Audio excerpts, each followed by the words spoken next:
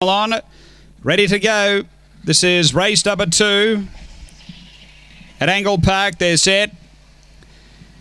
And away, pace here from Sweet Kiss is going to drive and lead. Uh, Electra Flash moves through, and then Sully's Boy. Amy Farrah Fowler next, and three away, Popping Candy. A couple away, Killed His Girl, and Clint's Caviar. The leader is Electra Flash, out by three on Sweet Kiss now. Then Sully's Boy, Amy Farrah Fowler. On the turn, Electra Flash, the leader. Amy Farrah Fowler runs on. Electra Flash in front, did enough.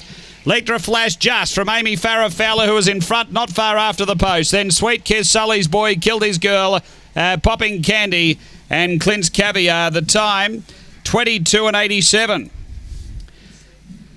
After race number two, numbers are 7, 6, 2, and 1. Number seven, Electra Flash, Ellie Matcott, uh, E. Matcott, J. Matcott, a Black Dog, March 2014, Magic Sprite, Electra Special.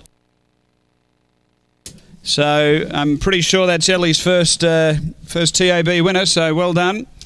Number seven, Electra Flash. Uh, second, going to six, Amy.